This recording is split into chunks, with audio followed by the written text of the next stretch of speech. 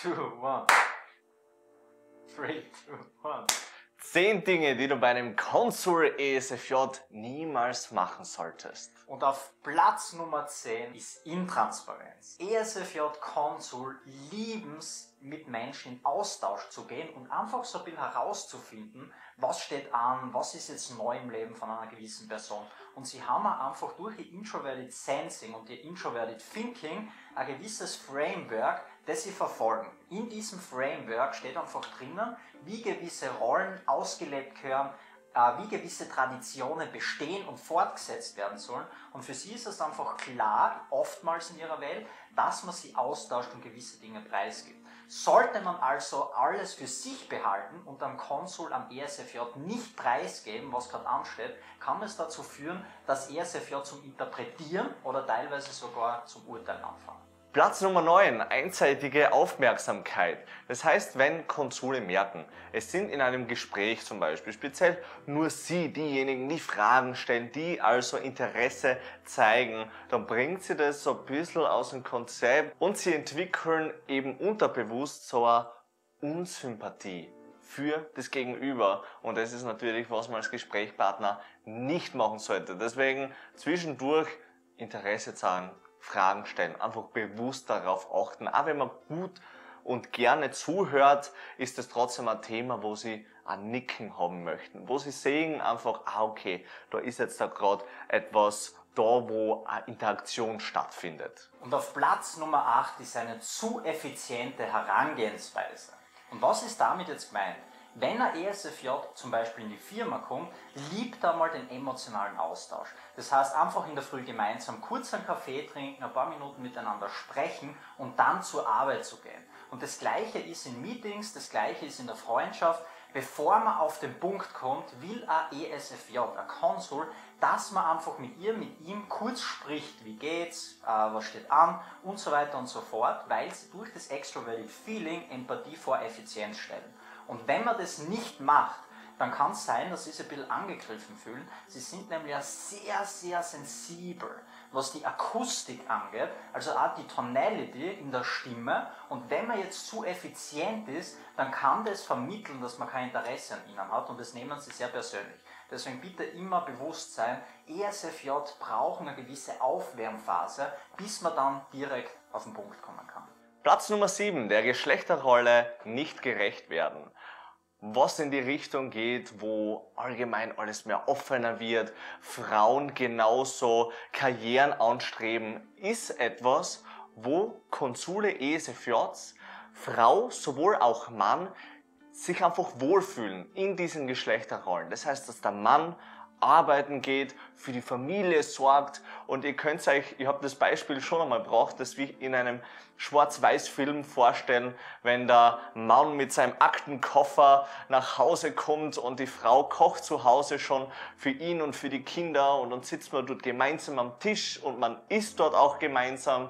Das heißt, solche typischen traditionellen Bilder, wie jetzt ein Mann und eine Frau eine Beziehung führt, so etwas haben ihr ESFJs einfach gerne. Wie das auch der Mann zum Beispiel, wenn man was trinken geht oder essen geht, dass auch der Mann dafür zahlt. Und das typische Gentleman-Dasein. Und die Frau eben diejenige, die die Weiblichkeit ausstrahlt und es einfach liebt, umsorgt zu werden. Und das ist etwas, was ESFJs einfach nicht nur gerne haben, sondern auch erwarten. Um es da jetzt aber noch einmal klarzustellen, auch was Geschlechterrollen angeht, weil das oft gerne mal ein kritisches Thema ist. ESFJs haben es einfach gern traditionell und das sind traditionelle Geschlechterrollen. Dass jetzt da in der modernen Gesellschaft, in der wir, in der wir leben, Frauen, ESFJs genauso Männer dominiert sind, aber ESFJs wie Männer auch gerne in der Küche stehen. Also das sollte von dem her eh selbstverständlich sein. Wir meinen speziell damit, dass ESFJs, wie gesagt, einfach Traditionen lieben und das ein Grundgedanke, ein Grundbild haben, wie sich gerne eine Beziehung gestalten lässt. Auf Platz Nummer 6 ist die Verantwortungslosigkeit. ESFJ sind sehr pflichtbewusste Menschen, vor allem wenn es um die Familie geht, wenn es um die Gesellschaft geht, um soziale Schichten und so weiter und so fort. Und wenn sie das Gefühl haben, dass jemand auch das Ganze vielleicht gefährdet, weil er ein kompletter Querdenker ist. Weil er jetzt einfach hergeht und gewisse Rollen, die die Familie jetzt noch nicht kennt, in Frage stellt, weil er einfach etwas macht, das in ihren Augen verantwortungslos ist, dann wird es happig. Dann werden sie da auch oft einmal schon sehr direkt, dann können sie da wirklich Klartext drin, dass sie das überhaupt nicht gut finden. Und da ist immer wichtig, sich bewusst zu sein, dass ein ESFJ wirklich einen sehr hohen, pflichtbewussten Ansatz hat und immer schaut, Verantwortung übernehmen. Das sind oft die Menschen, die Familien zusammenhalten und ESFJ sind oft wirklich auch so ein bisschen die, die Mittelmänner, die, die sehr, sehr diplomatisch vermitteln können und sie möchten das auch. Und deswegen wissen sie ja, sie schätzen es einfach nicht, wenn jemand eine Beziehung gefährdet, wenn jemand aufgrund von egoistischen Zielen hergeht und sein eigenes Wohl über das gesellschaftliche Wohl stellt. Also das sind alles Dinge, die finden sie verantwortungslos und geht bei ihnen gar nicht. Auf Platz Nummer 5 Traditionen zu brechen. Also wie wir schon gehört haben, ESFJs lieben einfach gewisse Strukturen, haben es gerne, dass sie einfach Erwartungen auch an, an was haben dürfen und sie wollen das natürlich auch so. Das Ding ist, Traditionen zu brechen ist ein absolutes No-Go, weil natürlich sind sie oft für Veränderung, aber für zu viel Veränderung, vor allem für etwas, was oft in der, in der Kindheit schon gestartet ist, dass man beim Essen überhaupt zusammensitzt und erst alle aufstehen gemeinsam, wenn jeder fertig ist. Das ist so eine Tradition, das war wichtig, das gehört einfach zu gewissen Werten dazu, die man sehr geschätzt hat in der Kindheit und man hat es einfach gerne genauso als Erwachsener, sage ich mal. Das ist eine Tradition, die möchten sie beibehalten. Oder dass, was, dass es etwas ist, dass jeden Sonntag wird ein Spaziergang gemacht komplett egal, wie die Tradition sich auch immer gestaltet. Oft wird es, wie gesagt, in der Kindheit geknüpft und wenn man da immer nur gegen, gegen die Strömung schwimmt und Neues und für Veränderungen sorgen möchte und Tradition komplett außer Acht lässt, nachher finden sie das einfach nicht gut, weil sie Gewohnheiten einfach auch gerne haben und wenn man so ein richtiger Traditionsrebell ist, wenn man so möchte, sowas schätzen sie einfach gar nicht. Punkt Nummer 4, wenn man nicht mit beiden Beinen im Leben steht. Und das ist wirklich etwas, das wird oft unterschätzt. ESFJ wollen jemanden, der einfach nicht komplett abgekommen ist, der komplett durchs Leben schwebt und einfach überhaupt nicht angekommen ist. Der jetzt zum Beispiel einfach sich so ein Paradebeispiel, komplett seiner eigenen Philosophie hingibt und dadurch vergisst, dass er zum Beispiel Geld verdienen geht. Dass er einfach gewissen Pflichten nicht nachkommen kann, weil er so einen komplett anderen Weg geht. Das heißt, das hat wieder so ein bisschen mit Verantwortung zu tun, weil er ESFJ gern dann an die Familie denkt und zum Beispiel eine weibliche ESFJ denkt sich, okay, wenn der Mann so abgekommen ist, wie soll der Familie ernähren? Und der, Weib, äh, der männliche ESFJ denkt sich ja im Umkehrschluss, okay, wie soll das funktionieren? Wie soll ich eine normale Konversation führen können, die auf Realität beruht, wenn meine Partnerin so abgekommen ist? Also Abkommen meint wirklich, dass man in einer Traumwelt lebt, jeglichen Fantasien nachjagt und es bei weitem über den Realitätssinn stellt und dadurch zum Beispiel kein Einkommen hat, dadurch einfach zum Beispiel auch nicht einen sozialen fixen Kreis hat, dadurch auch nicht wirklich seine Beziehungen pflegt. Also das sind alles Dinge, die schrecken am ESFJ definitiv ab. Und da ist es ganz wichtig zu wissen, sei dir immer bewusst, dass du dein Leben einmal so quasi im Griff haben solltest, laut gesellschaftlichen Regeln, weil das haben wir auch schon gehört, Tradition und Co., weil dann wird der ESFJ definitiv offen sein, eine langfristige Beziehung zu knüpfen. Wenn das fehlt, dann ist der ESFJ dahin. Bist du dahin? So, jetzt haben wir bei den Top 3 angelangt und der dritte Punkt ist Status hinterfragen. Also bitte auf keinen Fall machen. Status hinterfragen ist etwas, was sie so frustriert und was sie dazu bringt, sich komplett zurückzuziehen oder komplett in die Offensive zu gehen, weil ihnen das schlussendlich eine gewisse Sicherheit gibt, wie sie einer Gesellschaft gesehen werden. Das heißt, wenn man jetzt da Status, was ist das jetzt? Ein Status im Beruf jetzt da. Ich habe jetzt den Beruf als Installateur, habe da natürlich ein gewisses Wissen darüber. Und wenn jetzt da außenstehende Person jetzt zu mir kommt und so in der Richtung, was willst du mir über Installation und Rohrverlegen erzählen?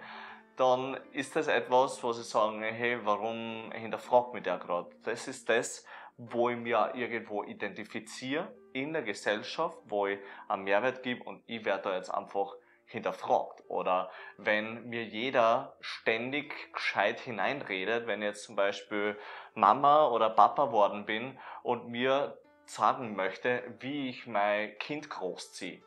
Das heißt, das sind einfach so Dinge, den Status, den meine Gesellschaft einfach hat, wenn der hinterfragt wird, wo man nicht ernst genommen wird, wo das Wissen, Fähigkeiten hinterfragt werden. Also das äh, ist ein absolutes No-Go bei Konsolen. Platz Nummer zwei, und jetzt bitte wirklich aufpassen. Also jetzt kommen wir zu, zu zwei Punkten. Wenn die wirklich passieren, das geht überhaupt nicht. Und zwar Platz Nummer zwei ist Kritik. Egal ob Kritik in konstruktiver oder destruktiver Art und Weise, ESFJ sind von allen 16 Personalities die kritikscheuesten Menschen, die es gibt. Warum ist das jetzt so? Schauen wir uns das einmal an.